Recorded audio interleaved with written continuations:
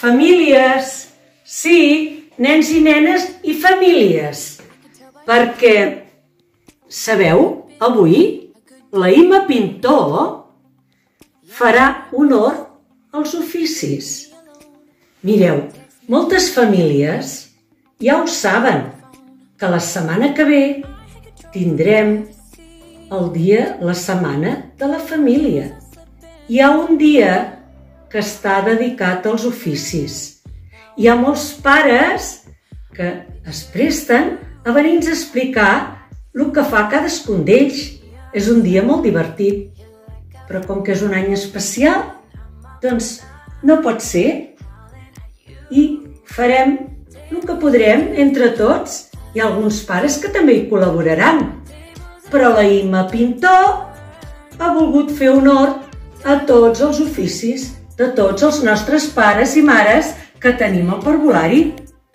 I ara, la Ima Pintor us explicarà el conte que us ha preparat.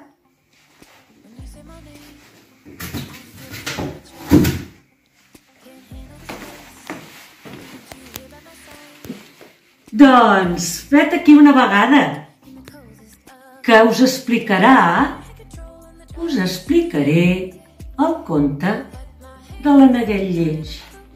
Algú el sap? Escolteu, pareu orelles. Hi havia una vegada una mama ànec que tenia molts ous. Va pondre ous, els hi feia escalforeta perquè poguessin néixer.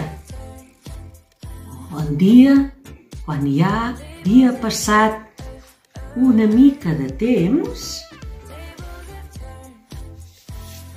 van començar a esclatar els ous i van començar a sortir aneguets. Oh! Va, la mama Anna va començar a fer una cara estranya perquè va dir Ai, tots els aneguets no són iguals? Què passa aquí? Oi? Vivien en una granja, aquests aneguets.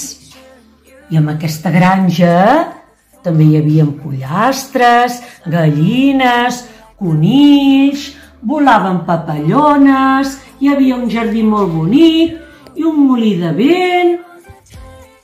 Però què va passar un dia amb aquesta granja? Quan ja havien acabat de néixer tots els aneguets, n'hi havia un que era molt diferent. I hasta els seus germans li deien Pes-te'n d'aquí, aneguet, tu no ets de la nostra família. Ets molt raro, ets molt lleig. Pes-te'n. I hasta els animalets de la granja, les gallines, els pollastres, també deien Oi, quin ànec més lleig! Que se'n vagi, no el volem aquí a la nostra granja. Oh, i la neguet, mireu, mireu que estava trist, com plorava, pobre neguet. Deia quac, quac, quac. Jo no sé què passa, no em vol ni la meva mare, no em volen els meus germans, no em volen els animalets de la granja. Per què?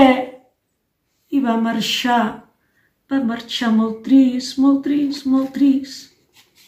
I va passar molt de temps, molt de temps, nens, va passar. I al cap d'un temps va aparèixer aquell aneguet lleig, va aparèixer amb un riu i guiteu, guiteu, guiteu, que bonic que era. Es va convertir aquell aneguet lleig en un cigne, guapíssim, i nedava, i era gran i bonic, i també ne deixava nedar els seus fillets, perquè va tenir fillets.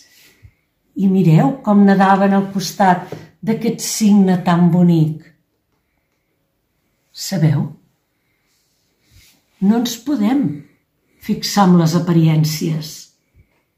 Lo important és el cor. Lo important és estimar-nos, respectar-nos i la nostra vida serà més feliç. Fins un altre dia.